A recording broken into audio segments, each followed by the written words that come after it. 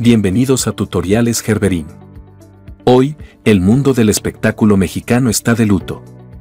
La inesperada partida del actor David Ostrowski ha conmocionado al público. En este video, repasaremos la vida de Ostrowski, su familia, su destacada participación en los melodramas y profundizaremos en los detalles alrededor de la muerte del reconocido actor mexicano con ascendencia judía. Es importante resaltar que David Ostrowski será eternamente recordado por interpretar una amplia variedad de roles en diversas telenovelas de Televisa, tales como María la de Barrio, Soy tu dueña, y más recientemente, Vencer la ausencia. Su partida marca el cierre de una brillante trayectoria de casi 40 años frente a las cámaras y sobre los escenarios, legándonos actuaciones inolvidables. El mundo del espectáculo se ha vuelto a vestir de luto luego de que se diera a conocer el fallecimiento del actor David Ostrowski a los 66 años de edad. El histrión nació en la Ciudad de México.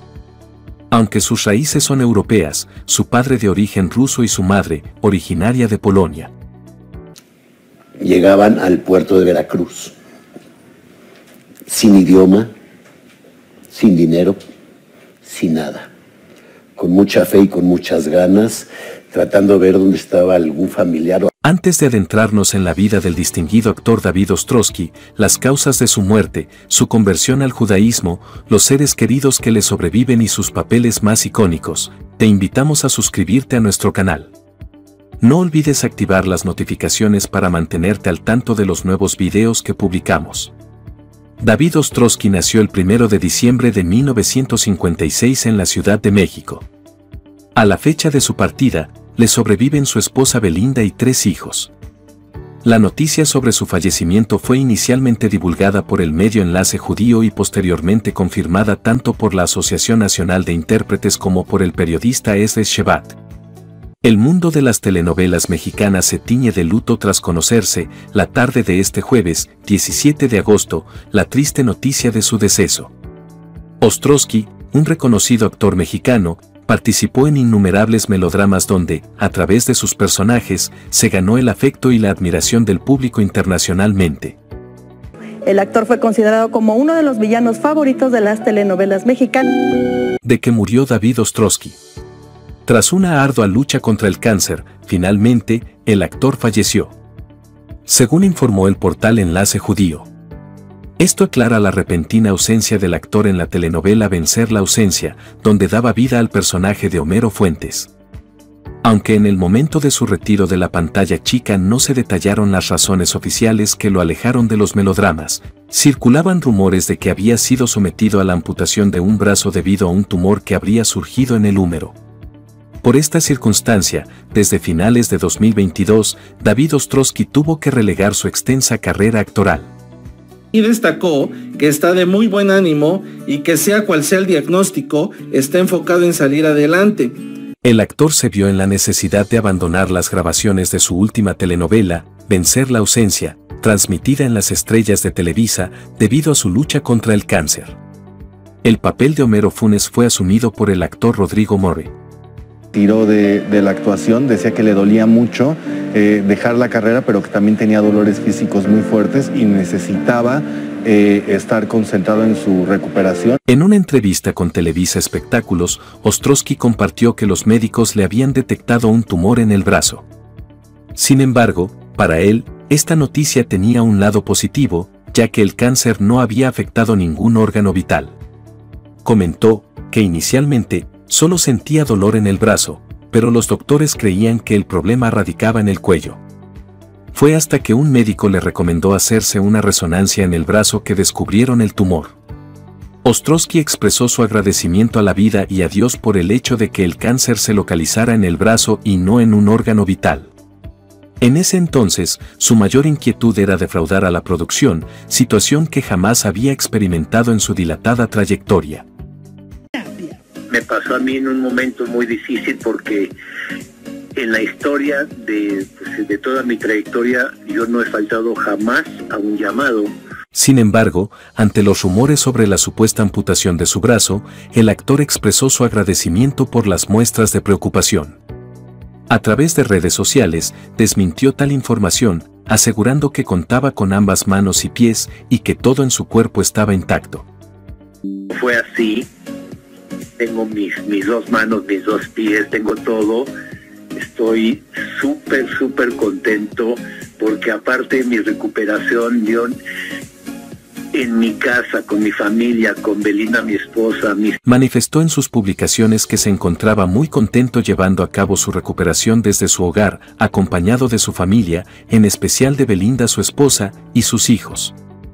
Reaccionó con molestia ante los rumores, acusando a ciertos medios de intentar sensacionalizar y amarillizar la situación, y recordó que siempre ha sido reservado respecto a su vida privada. En la telenovela, Ostrowski daba vida a Homero, un personaje que es diagnosticado con una enfermedad que causa episodios en los que la persona se queda mirando fijamente al vacío durante unos segundos. Sin el tratamiento adecuado y a tiempo, esta afección podría llevar a convulsiones.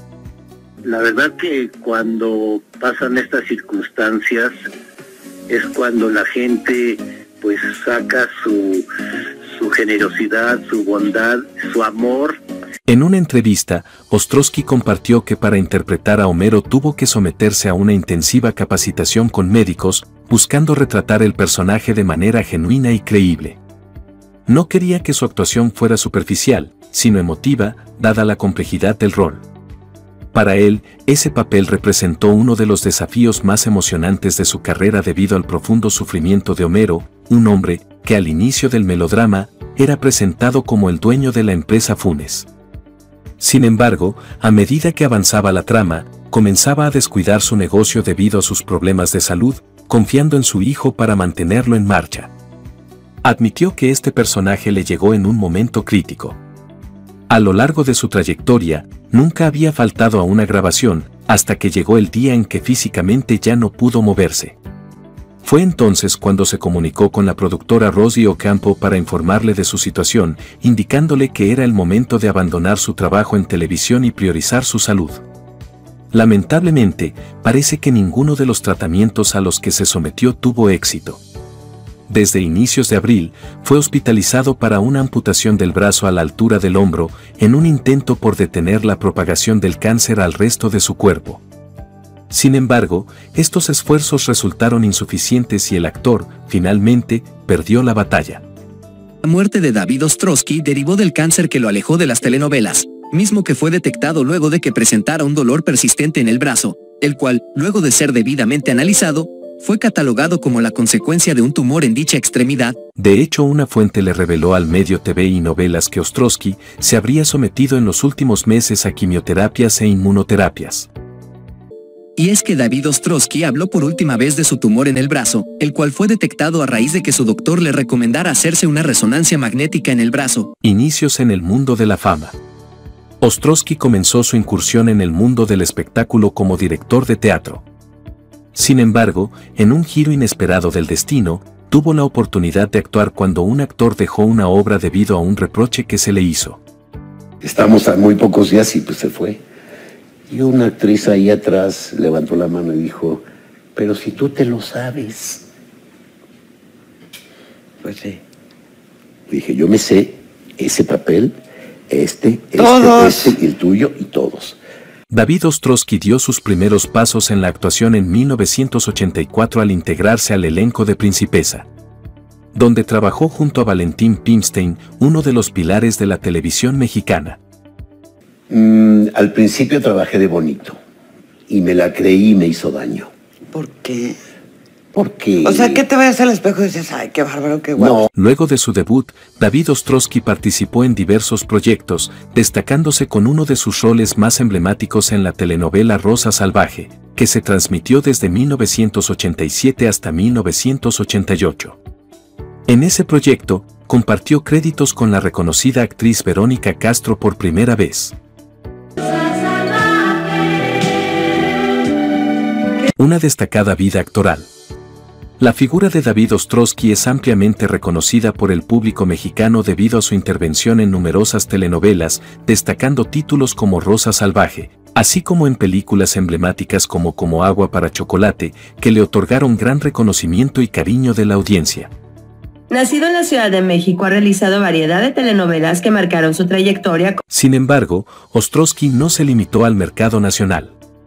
Gracias a la plataforma Netflix, alcanzó proyección internacional al interpretar a Salomón Cohen en la serie La Casa de las Flores, que tuvo su estreno global el 10 de agosto de 2018. Y cuando fui a hacer casting de La Casa de las Flores y vi que era una serie no de narcos, me emocionó. Dije, vaya. Esta producción abordó temáticas controversiales como la transexualidad, homosexualidad y el consumo de sustancias. En ella, Ostrowski encarnaba a un psicólogo infantil, amigo de la protagonista. La Casa de las Flores es un, un tema como ácido de humor negro, escrito por Manolo Caro, dirigido y producido por él. Y yo creo que le gustó a la gente mucho porque está muy divertida, muy entretenida. La Casa de las Flores, donde compartió créditos con Verónica Castro, Cecilia Suárez, Aislinn Derbez y Darío Yazbek, entre otros, es solo una muestra de su versatilidad. En la televisión, Ostrowski ha brillado en telenovelas y series como El diario de Daniela, Hasta el fin del mundo, Un refugio para el amor, Destilando amor, Amy, La niña de la mochila azul, La antorcha encendida y Mujeres asesinas. También es reconocido por roles en Amor en Custodia, Piel de Otoño y Los Parientes Pobres. Además de su destacada trayectoria en la pequeña pantalla, Ostrowski sobresalió en el cine mexicano, con participaciones en películas como Matando Cabos y Cansada de Besar Sapos. Yo quería que me hablaran más para hacer comedia, porque después de hacer una obra de, de comedia que dije, qué rico está esto, qué difícil es hacer reír. Bueno, no, tú no, siempre que has sido serio. Sí, y, y, y, no, a mí me encanta el, el, sentido del humor. A lo largo de su carrera, David Ostrowski demostró una notable versatilidad actoral, asumiendo variados roles en múltiples géneros y formatos. Su andadura en el mundo de las telenovelas comenzó en 1984, con el personaje de Juan Carlos en Principesa, que estuvo al aire hasta 1986. Desde ese momento, Ostrowski se hizo presente en producciones tanto nacionales como internacionales hasta 2022. Aunque participó en 47 telenovelas, es especialmente recordado por roles en La Casa de las Flores, Marisol, Porque el amor manda, Principesa y Un refugio para el amor. Su habilidad para interpretar desde villanos hasta personajes buenos y polémicos lo posicionó como un actor camaleónico en el medio. David Ostrowski Winegrat dejó una imborrable huella en telenovelas tanto mexicanas como internacionales. Destacan sus participaciones en éxitos televisivos como Rosa Salvaje, Teresa, María Mercedes, La Antorcha Encendida, Destilando Amor, El Vuelo del Águila, Soy tu dueña y Una familia con suerte. Su primer crédito como actor fue en 1984 y sus últimos proyectos fueron este año en la serie eh, Chueco. Eh, Chueco, al lado de Consuelo Duval y la telenovela Vencer la ausencia. Lamentablemente en los últimos meses tuvo que luchar en contra de un tumor en el brazo. Descanse en paz el actor David Ostrowski. Un... En el ámbito de las series, se le vio en Mujer, Casos de la Vida Real, Mujeres Asesinas, La Casa de las Flores y Sin Miedo a la Verdad. Su talento también trascendió al teatro con obras como Doce Hombres en Pugna y en el cine, con películas como Como agua para chocolate, La segunda noche y Secretos de familia. Este destacado actor, que brilló desde los años 80, se mantuvo activo en la escena, dejando una marca indeleble con cada personaje que interpretó en telenovelas mexicanas. Su última aparición fue en Vencer la ausencia, producida por Rocio Campo y transmitida por Televisa Univisión en 2022 decirle que no lo queremos. No hay modo de echarnos para atrás, y menos con ello. La telenovela de las estrellas, protagonizada por Ariadne Díaz, Mayrin Villanueva, Alejandra Barros y María Perroni. Además de narrar las problemáticas de cuatro mujeres, explora difíciles situaciones que viven algunas personas, entre ellas, las que sufren del padecimiento denominado crisis de ausencia. Su trama se basa en la vida de tres mejores amigas y la hija de su difunta amiga, quienes viven en el mismo hogar, tratan de sobrellevar el dolor de la pérdida y el duelo que significa la muerte. Será cualquiera, sí. Sin embargo, el actor tuvo que ausentarse de aquel proyecto debido a que se le detectó un sarcoma, un tipo de cáncer en el brazo, que le evitó continuar con sus labores dentro de la industria del entretenimiento. Ostrowski tiene una larga trayectoria no solo en la televisión mexicana, sino también en las plataformas de streaming. Siendo su último proyecto, Chueco, la serie de Disney que también protagonizan Consuelo Duval y Darío Barassi.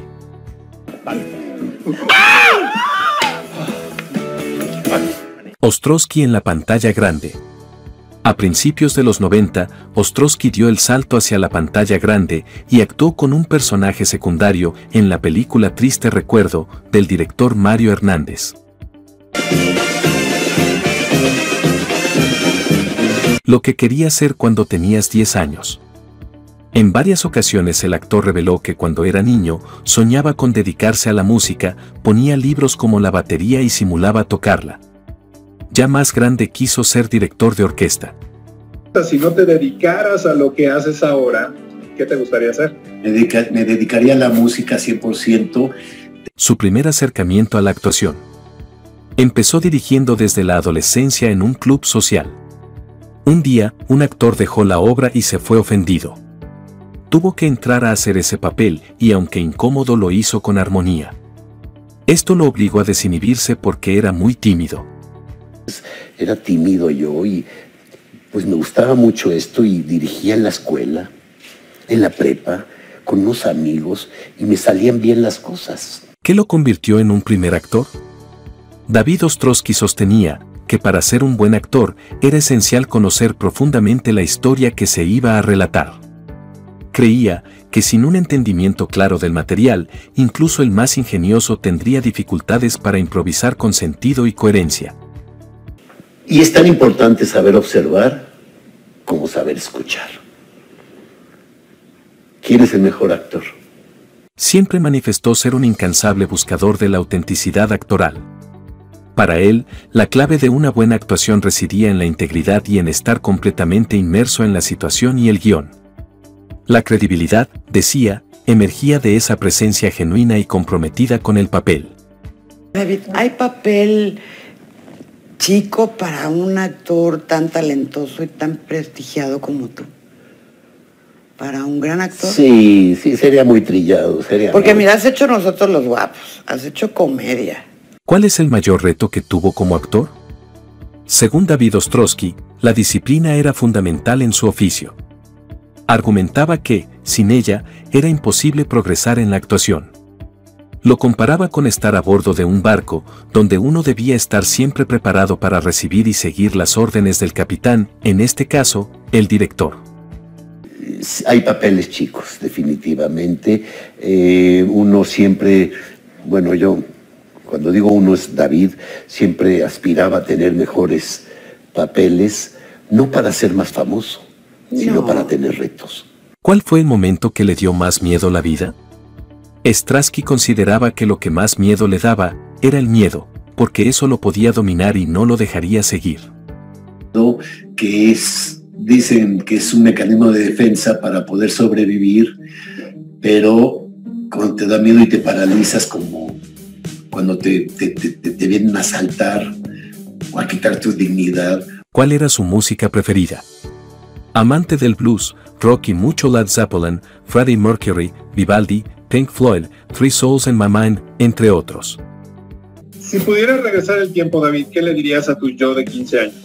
Le diría que, que lo que viví a los 15 años con él, o sea, conmigo, pues eh, lo vivimos por consecuencias y causas que la vida nos dio por resultado. Su trago favorito. Muchas veces se sinceró con su público al decir que prefería el agua natural o jugos de frutas y el trago sin duda, vino tinto. Primer trabajo como actor y cuál fue la lección que te dejó. Su primer trabajo profesional, El alma buena de Szechuan, de Bertolt Brecht.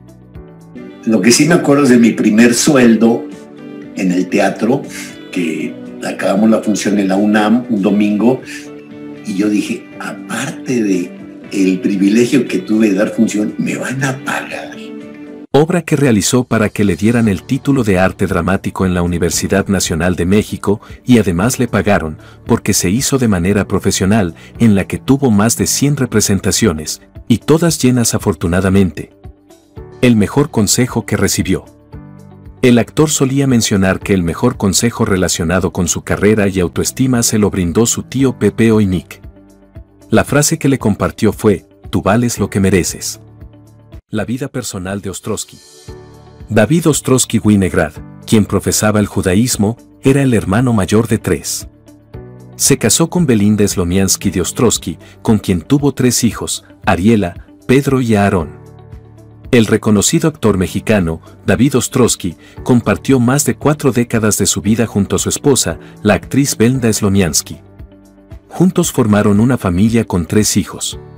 Me gusta mucho trabajar ahorita que, estuvimos encerrados, pues estuve ensayando con Belinda una obra que siempre tuve ganas, pero no la habíamos memorizado porque no había un teatro.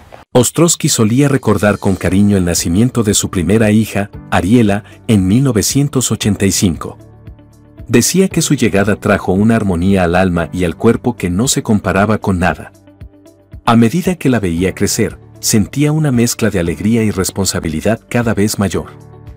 Para Ostrowski, uno de los aspectos más gratificantes de la paternidad era poder comunicarse con sus hijos en un plano de igualdad.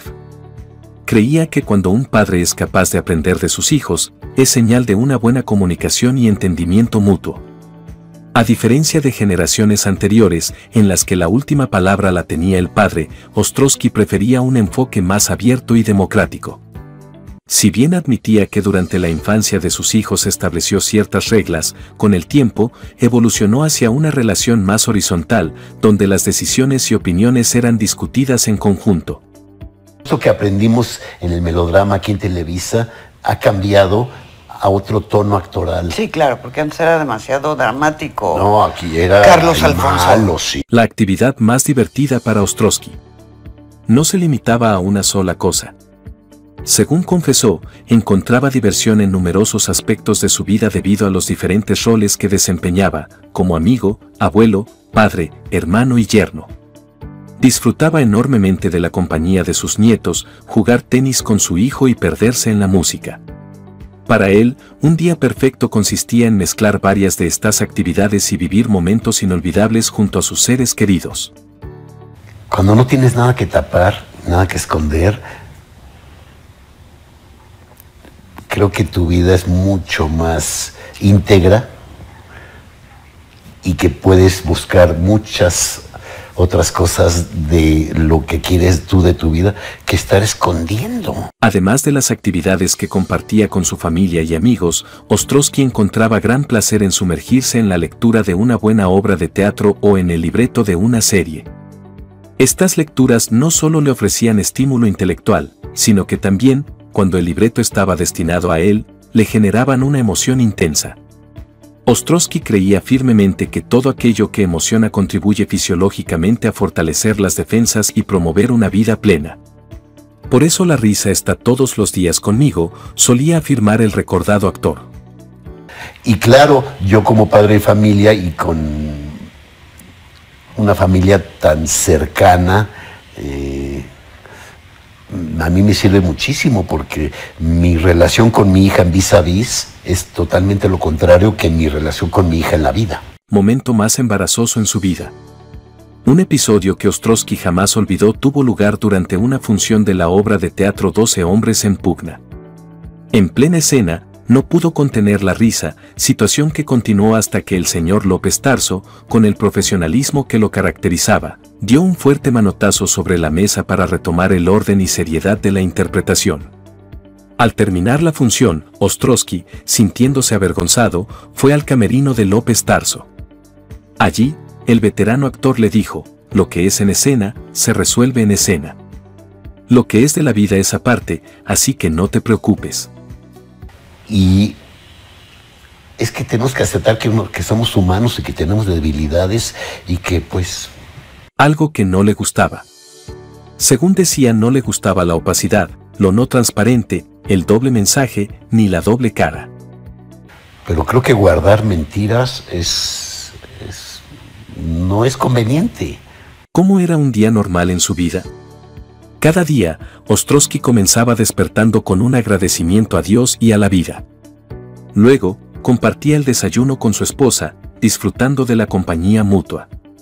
Salía de casa contento, agradecido por tener un lugar al cual dirigirse, ya sea por un llamado de trabajo o algún compromiso. Al regresar, si contaba con tiempo libre, solía ir a su oficina. De lo contrario, optaba por regresar a casa, donde se permitía relajarse viendo alguna serie o sumergiéndose en la lectura. En mi caso, he hecho lo que me ha gustado. Y ha estado muy, muy emotivo. Algo que aprendió de la peor manera. De forma natural el actor confesó en varias ocasiones que aprendió a ser independiente porque se quedó sin sus padres. Sí, Víctor Ramala pues también tuvo esos momentos sarcásticos. Tenía enfrente de él a alguien con una bala moribunda y sonreía. ¿Cómo fue ser un hijo de padres extranjeros en México?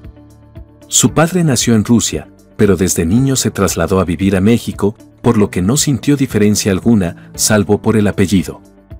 ¿De quiénes somos y para qué y por qué estamos aquí?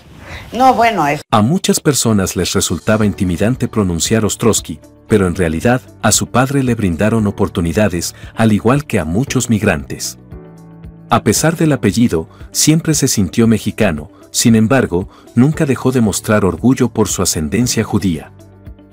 Llegan por persecuciones, somos judíos, por cuestiones eh, políticas.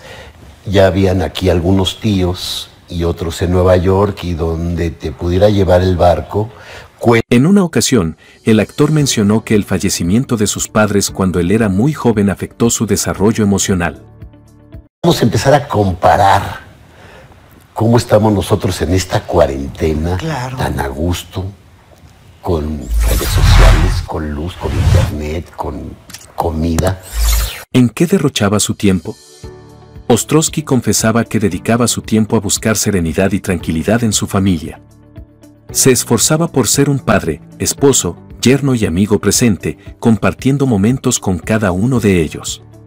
Con mi hija, que es mi primogénita, yo con los tres me llevo súper y con ella tengo un conecte químico increíble, de que no necesitas a veces decir nada y está dicho.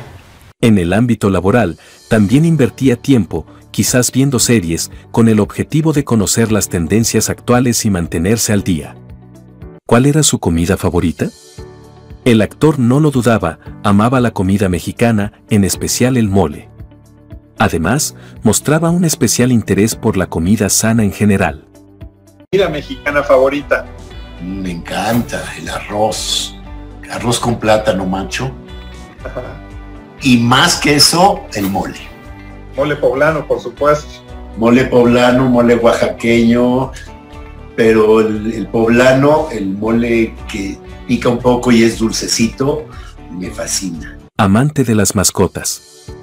El reconocido actor tenía un especial cariño por los perros, contando con tres en total, dos pameranies y uno de raza salchicha. Aunque admitía que realizaba más ejercicio ahora que en su juventud, no lo veía como una obsesión, sino más bien como una forma de disciplina.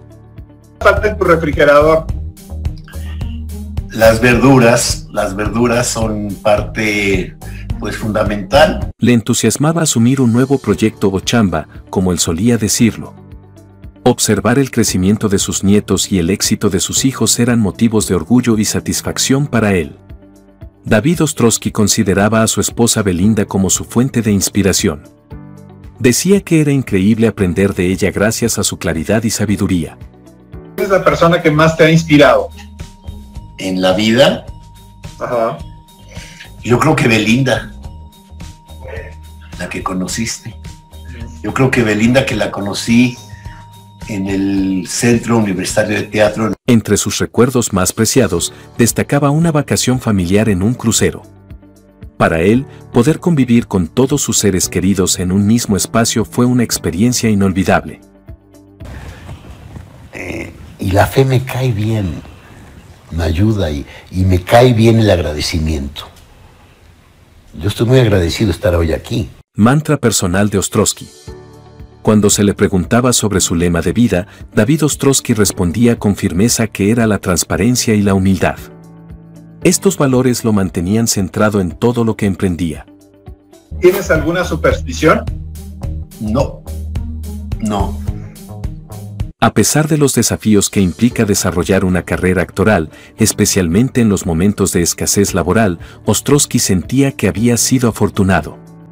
Enfrentó su camino profesional con alegría, satisfacción y siempre con una visión de futuro llena de planes y alegrías. Es una carrera donde de repente hay muchos altibajos. Muchos altibajos. ¿Cuál fue la mejor experiencia de vida que obtuvo de algún compañero actor o actriz? Ostrowski sostenía que una de las experiencias más enriquecedoras en su carrera era el apoyo mutuo entre colegas. Valoraba momentos en los que, si cometía un error en escena, un compañero estaba allí para salvarlo y viceversa. Por ello, no solía mencionar preferencias por trabajar con algún actor o actriz en particular. Ya lo tengo bien aceptado y asumido que, que me gusta mucho el diálogo con la cámara. La cámara a veces te quiere, a veces no. Eh, va cambiando tu aspecto, tu edad. ¿Cuál fue su experiencia en la serie Vis a Vis? Ostrowski destacaba rápidamente su participación en producciones de alto calibre como Vis a Vis como una experiencia formidable. La calidad de la producción y el alto nivel del elenco fueron aspectos que resaltaba. A pesar de ser un entorno distinto, supo adaptarse a trabajar con actores jóvenes y ofrecer un desempeño sobresaliente. Pero lo que más gusto me dio, Mara, fue que quisieron a David Ostrowski para un papel que no tiene nada que ver con el papel que vieron. Recordaba con cariño el último día de grabación de la serie, cuando al finalizar su última escena, todo el equipo y elenco le brindaron un cálido y prolongado aplauso en señal de agradecimiento y respeto. Pues eso lo que te dice es que, pues sí, el abanico de poder interpretar es más amplio de lo que uno cree. ¿Cómo fue el trabajar en la época dorada de las telenovelas en México? Con un tono humorístico, Ostrowski decía, fue una experiencia muy padre. La magnitud de la proyección que le proporcionó esa época era inmensa. En cada rincón que visitaba, la gente lo reconocía. Aunque era una carga de trabajo considerable, nunca se quejó. Disfrutaba del hecho de que muchas personas lo conocieran y siempre estuvo agradecido por la visibilidad que ganó durante esa época. O platicarte que hay una diferencia entre ser reconocido y ser famoso. Cuando eres reconocido es que tu trabajo lo, lo, lo, evalúan y lo reconocen. En su opinión, el mayor beneficio de trabajar en ese periodo fue el reconocimiento. Valoraba mucho el cariño y el aprecio del público. Esto le brindó la certeza de que debía seguir avanzando en su carrera y no quedarse estancado en los logros del pasado que mi último personaje es el que me está dando el poder hacer otro. ¿Anécdota que recordaba constantemente de su papel en la película como agua para chocolate? A pesar de ser una película que enfrentó diversos obstáculos durante su producción, Ostrowski siempre destacaba el éxito final que obtuvo. Era una obra que, a pesar de las dificultades, logró posicionarse como un referente en el cine mexicano. ¿Qué le gustaba que la gente recordaba de él? Ostrowski solía mencionar que le gustaría que la gente guardara en su memoria algo positivo de los personajes que interpretó. Esperaba que su legado actoral dejara una huella y que al recordarlo, la gente evocara momentos o personajes que de alguna manera los impactaron o marcaron con 66 años de vida, tuvo una trayectoria que abarcó en grandes películas, obras de teatro, series de televisión y telenovelas, por lo que con su partida ha dejado un gran legado y una huella en la memoria de varias generaciones de espectadores. Que en paz descanse el afamado actor David Ostrowski. Con estas palabras, concluimos este conmovedor video. Te invitamos a suscribirte a nuestro canal Tutoriales Gerberín y a activar las notificaciones haciendo clic en la campanita para que estés al tanto de lo más relevante en el mundo de la farándula y más. Además, nos encantaría leer tus comentarios y te agradeceríamos mucho si nos regalas un like, lo que nos motivará a seguir creando contenido de calidad para ti.